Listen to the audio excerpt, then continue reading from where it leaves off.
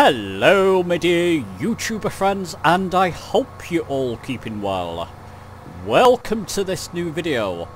Now, FrameGen, DLSS, FSR, you've probably all heard of them whether you're on PC or Xbox. They are sort of hidden tools or extra tools that you can use to help improve your graphics and performance in games and in Flight Sim 2020 and Flight Sim 2024. What are they exactly? I'm going to try and explain that in this video and perhaps also try and discover whether or not you should be using them if they are available to you. What benefit will they give you on PC in Flight Sim 2024? So let's not dilly-dally. Let's get on with this video.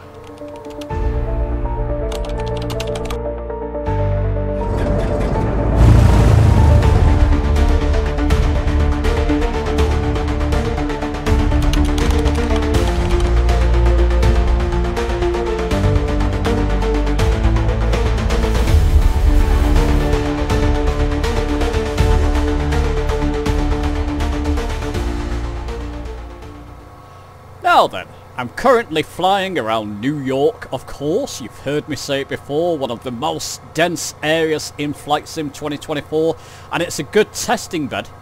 You can see I've got developer mode on in the top left there. What am I getting? Around 40 frames. I'm also using Tobii Eye Tracker to look around, and I'm using my force feedback flight stick, which is fantastic in the Spitfire. Uh, yeah, it's just, and the aeroplane heaven Spitfire. Well, as you can see, without frame gen, without DLSS, in 1440p at ultra high settings, so many in high, but some are ultra at well, as well rather. What am I hitting? 40 to 50 frames, which is not too bad. And looking around. Yeah, generally, just looking around. It's all quite smooth. I can get quite a smooth experience from that.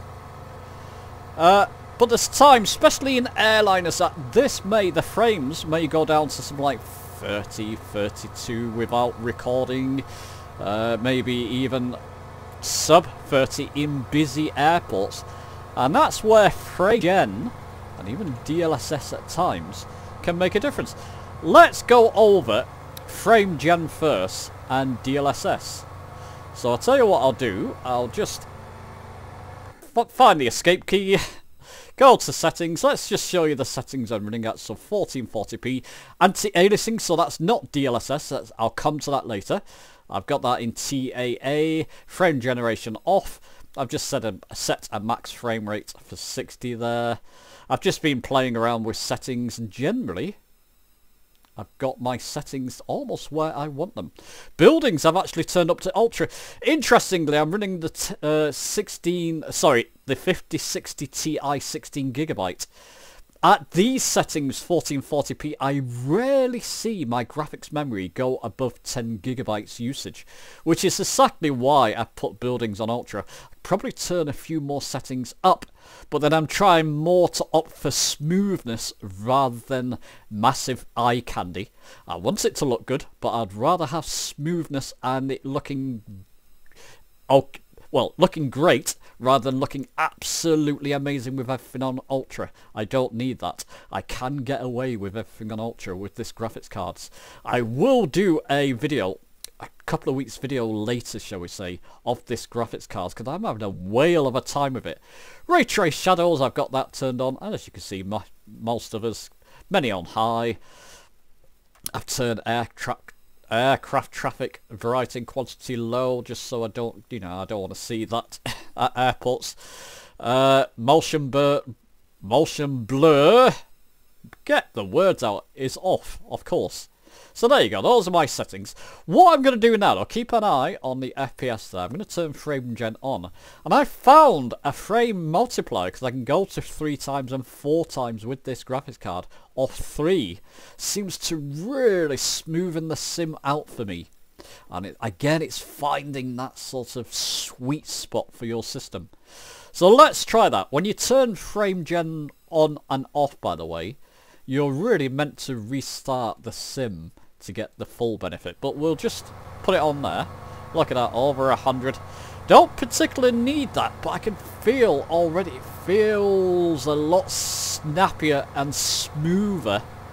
And that's exactly where I want it. And of course, looking down at New York looks absolutely fantastic. So here's a question. Should you use FrameGen or, let's just go back there, I can get away with this as well, FSR. If you're on AMD especially, AMD Cast FSR 3, you can actually use it on this PC as well. I prefer FrameGen and NVIDIA D uh, DLSS FrameGen rather, and a multiplier of 3 for my system. Should you use them if they're available? I would say absolutely yes. Doesn't seem to make much of a visual difference to the sim. What it is, is what it does, for those who don't know, it artificially uh, inserts frames into your PC. So you can see that I'm over 100 frames. Previously I was, what, 40 to 50? If I was at frame gen times 2, let's just show you that. Those frames will go down. Because it's, oh, someone else flying there. So, uh, it's basically, it's almost like putting two times the frame. So inserting an extra frame per second within uh, your sim in a, in a, in essence. So you can see now what are my frames. Sorry, I'm having to look up with head tracking, so you're going to see my view look up. About 80 frames, roughly. And like I said, you should really restart the sim, so if it starts to act a bit jittery, uh, but as you can see, smoothness. Very few, now I don't want to say this, touch wood, very few stutters and goodness knows what. Uh, although there is a bit of jitter there. Again, restart your PC when you play with settings. I actually get a smoother performance for me at FrameGen times 3. So let's just do that. Let's hope I'm not breaking the sim now. Again, restarts. Yeah, you can see just the smoothness. Very little screen tearing, if any, there as well for me. And it's just a fantastic performance in both the Spitfire here, GA aircraft, and even airliners was flying. I'll do it in a moment. I'll fly an A320 over New York just to show you the performance on there. So times three, it's inserting even more artificial frames. I don't think that's a bad thing in Flight Sim. Again, it doesn't seem to make any visual difference, and it can actually, depending on your system, smoothen out your experience. Frame generation, I feel, is a must. Yeah, absolutely fantastic. So that's what Frame Gen does. does. And it can really help. I've seen people running 5090s with Frame Gen times 3 uh, just to smoothen out their systems and their flying airliners and goodness knows what.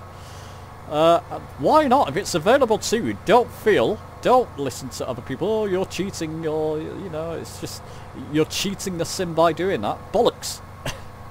In my case, it's actually helping my whole performance. I don't need 100 plus frames. I'm not interested in that at all. 50 to 60 will do. It's the smoothness of it that I love. And it still looks fantastic. That's FrameGen. Let's now move to DLSS. Okay, so let's touch upon DLSS. I've switched aircraft now. I mean, the Grand Caravan. Trusty old Grand Caravan. Same settings I had before, but as you can see, glass cockpit display, this will be important. Let's go to settings. By the way, if my voice crackles sometimes or it cuts out or jumps, that's more to do with some kind of issue recording with Flight Sim 2024. I'm using uh, GeForce Experience, and if it the sim stutters, suddenly my words will cut out or jump. So I'll hopefully I'm having to record some parts a couple of times because of that. But if that happens, that's the reason. Let's talk about the DLSS uh, anti-aliasing. As you can see, it's in TAAA. So let's switch this to NVIDIA DLSS. I'm using an NVIDIA card. And we'll keep it on performance. And just a second, just see if I can remove the, there we go, so we can read this properly. I'll, I'll hover over it. DLSS read it there, uses AI to produce higher resolution frames from lower resolution inputs. This feature requires a, yeah, there you go, RTX graphics card. AMD, if you're using AMD cards, uh, upscaling algorithm that produces high quality frames from lower resolution inputs. So what it does, I believe, it will upscale. It'll put your sim in a lower resolution and upscale it back into the resolution, in this case of 1440p. So it may put the sim, just for example, don't know the ins and outs on what resolutions exactly, but it may sort of downscale it to 1080p, then AI will upscale it back to 1440p to improve performance. And in some games, anti-aliasing we'll leave it on performance there. Go back to the Sims, see what difference it makes. Hopefully it won't stutter too much.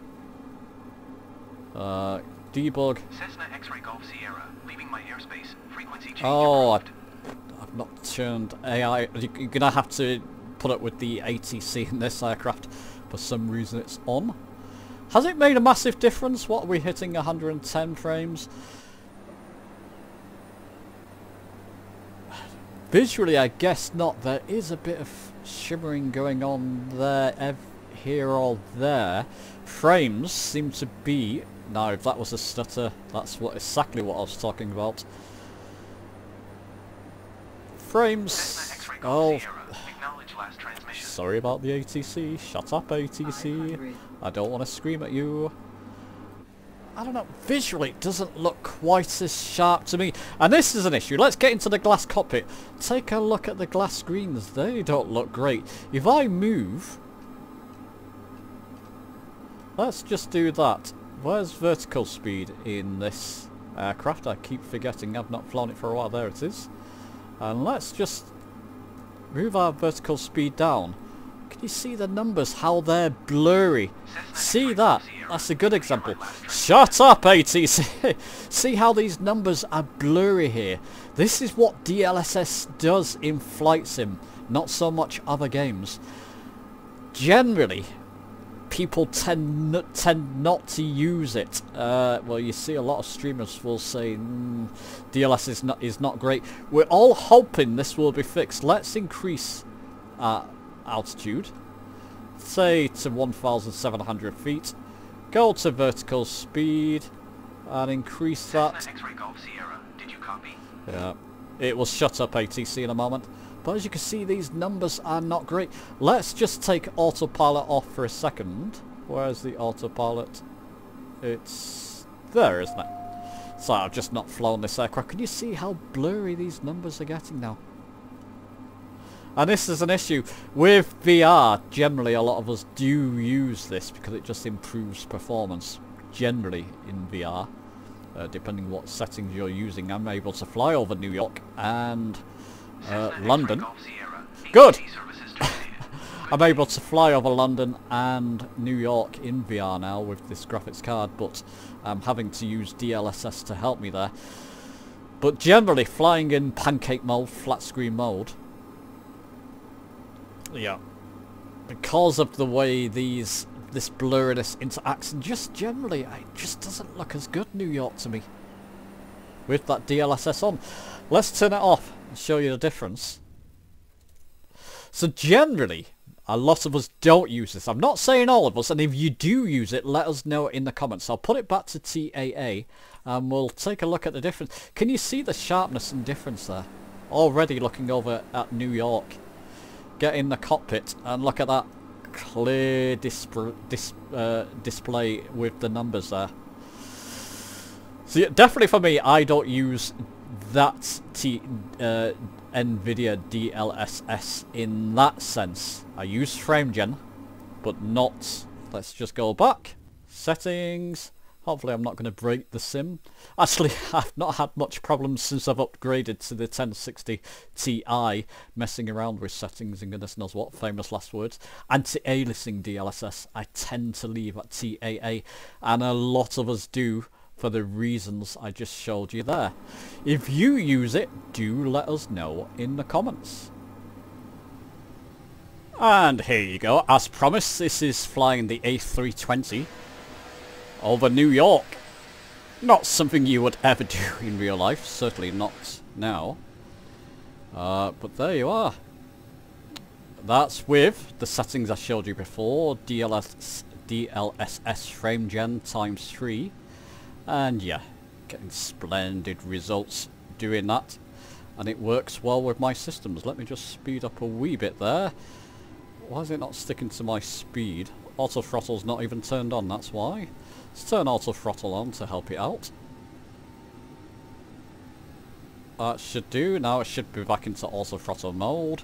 And let's just turn to our right there. So, that was a quick explanation and demonstration of DLSS and FrameGen and how they affect your system and what they do. Do let us know in the comments, my friends, what you're using if you're on PC. If you're on Xbox, by the way, you are getting FSR. Don't know about Flight Sim uh, specifically for the Series X or S. Uh, if anybody knows there whether it is using FSR in something like 4K on the Series X, I'll be interested. It possibly is, uh, just to insert artificial frames, that type of... But certainly in other games.